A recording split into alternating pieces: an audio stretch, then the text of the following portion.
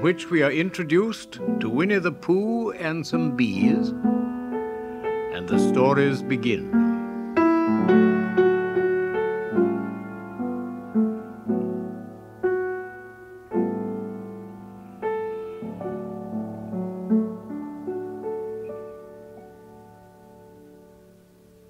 Here is Edward Bear coming downstairs now, bump, bump, bump on the back of his head, behind Christopher Robin.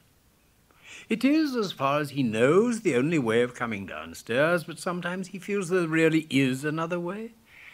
If only he could stop bumping for a moment and think of it. And then he feels that perhaps there isn't. Anyhow, here he is at the bottom and ready to be introduced to you Winnie the Pooh. When I first heard his name, I said, just as you're going to say, but I thought he was a boy. So did I, said Christopher Robin. Well, then you can't call him Winnie. I don't. But you said, he's Winnie the Pooh. Don't you know what the means? Ah, yes, now I do, I said quickly. And I hope you do too, because that's all the explanation you're going to get. Sometimes Winnie the Pooh likes a game of some sort when he comes downstairs, and sometimes he likes to sit quietly in front of the fire and listen to a story. This evening, what about a story? said Christopher Robin. What about a story? I said. Could you very sweetly tell Winnie the Pooh one? Well, I suppose I could, I said. What sort of stories does he like? About himself, because he's that sort of bear. Oh, I see.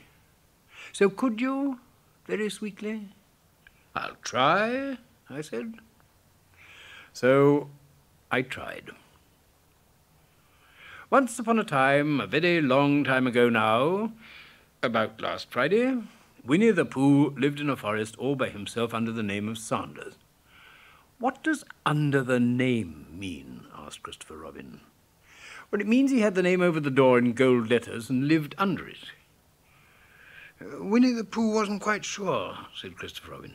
Now I am, said a growly voice. Then I will go on, said I.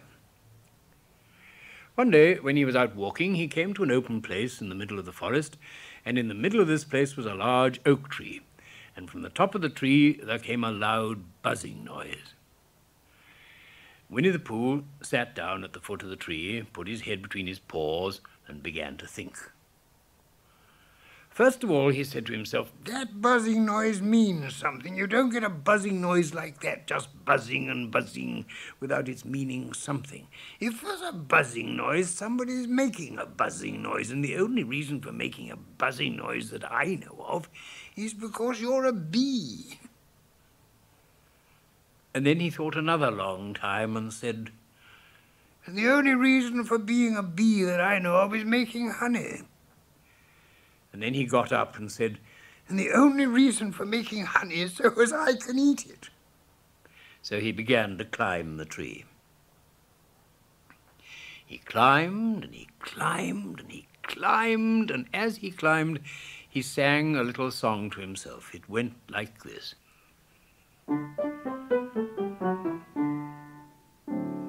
Isn't it funny how a bear likes honey? Buzz, buzz, buzz. I wonder why he does.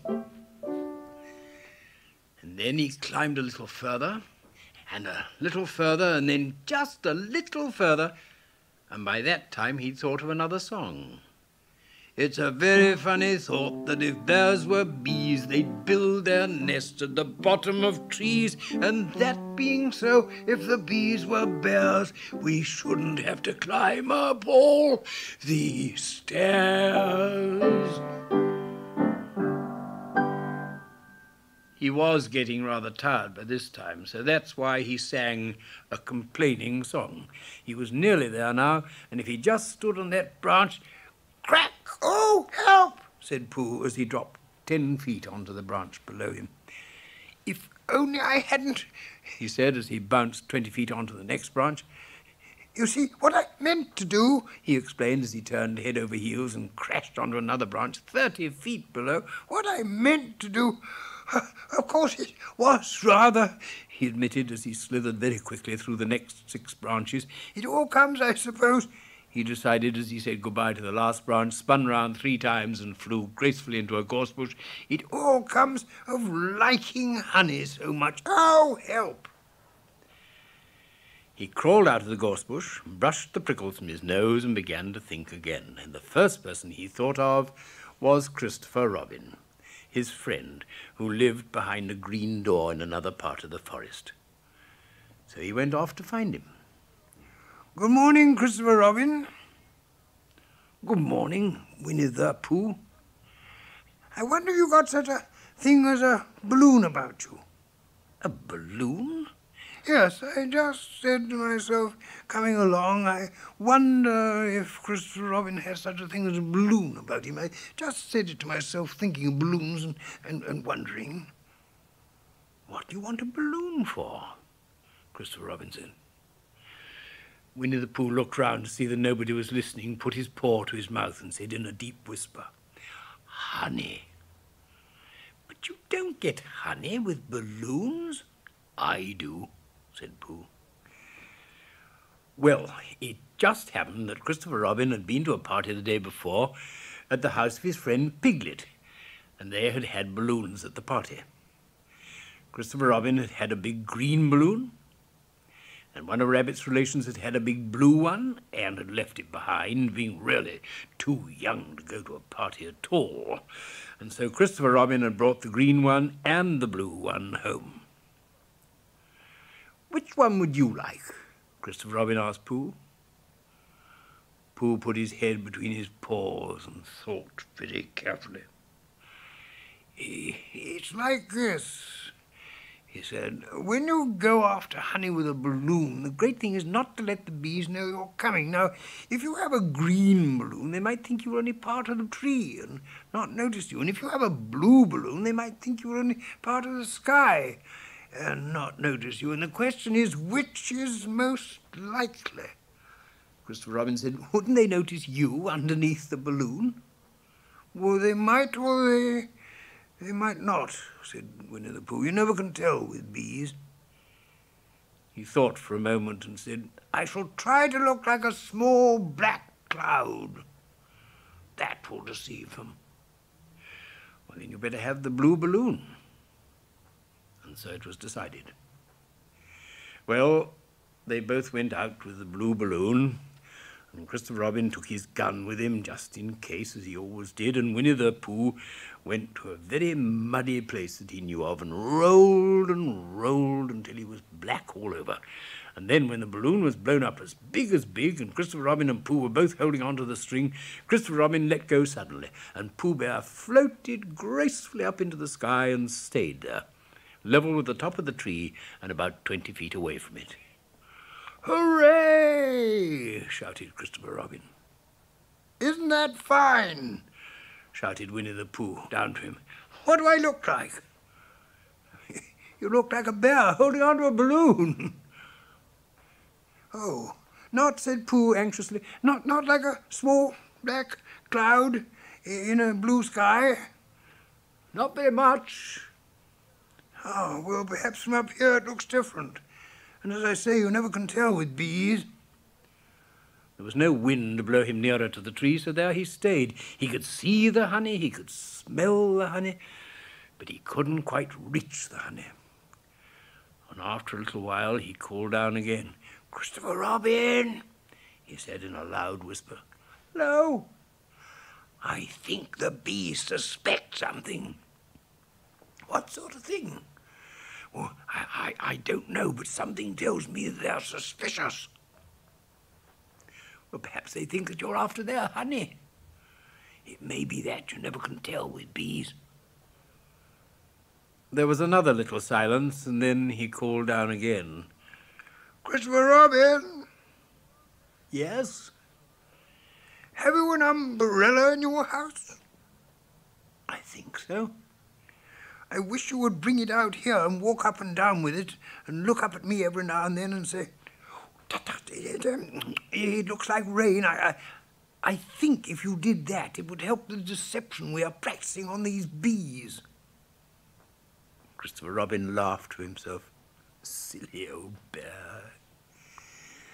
But he didn't say it aloud because he was so fond of him. And he went home for his umbrella. Oh, there you are, called down Winnie the Pooh as soon as Christopher Robin got back to the tree. I was beginning to get anxious. I've discovered that the bees are now definitely suspicious. Shall I put my umbrella up? Yes, but wait a moment. We must be practical. The important bee to deceive is the queen bee. Can you see which is the queen bee from down there? No? A pity. Well, now, if you walk up and down with your umbrella saying, tut tut, it looks like rain, I shall do what I can by singing a little cloud song, such as a cloud might sing. Go! So while Christopher Robin walked up and down and wondered if it would rain, Winnie the Pooh sang this song. How sweet to be a cloud floating in the blue. Every little cloud always sings aloud. How sweet to be a cloud floating in the blue.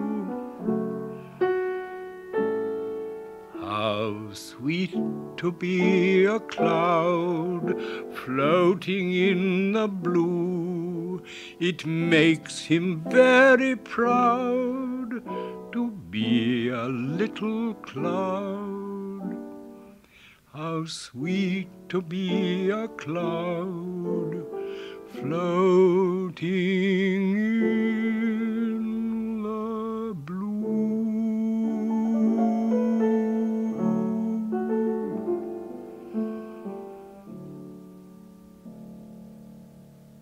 The bees were still buzzing as suspiciously as ever. Some of them indeed left their nests and flew all round the cloud as it began the second verse of this song. And one bee sat down on the nose of the cloud for a moment and then got up again. Christopher, oh, Robin, called out the cloud. Yes? I've just been thinking and I've come to a very important decision. These are the wrong sort of bees. Are they? Yes, quite the wrong sort, So I should think they would make the wrong sort of honey, shouldn't you? Would they? Yes. So I think I shall come down. How? Winnie the Pooh hadn't thought about this. If he let go of the string, he would fall bump, and he didn't like the idea of that, so he thought for a long time, and then he said, Christopher Robin, you must shoot the balloon with your gun. Have you got your gun? Of course I have. But if I do that, it'll spoil the balloon. If you don't, said Pooh, I shall have to let go, and that would spoil me. When he put it like this, Christopher Robin saw how it was, and he aimed very carefully at the balloon and fired. Ow!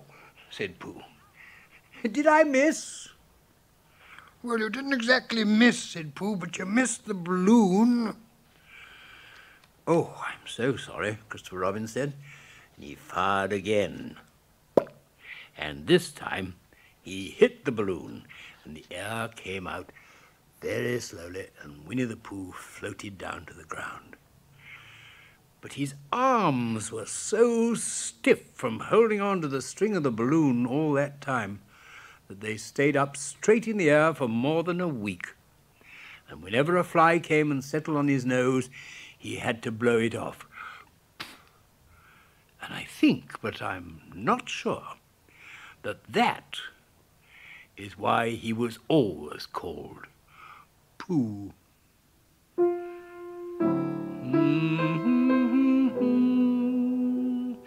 Mm-hmm.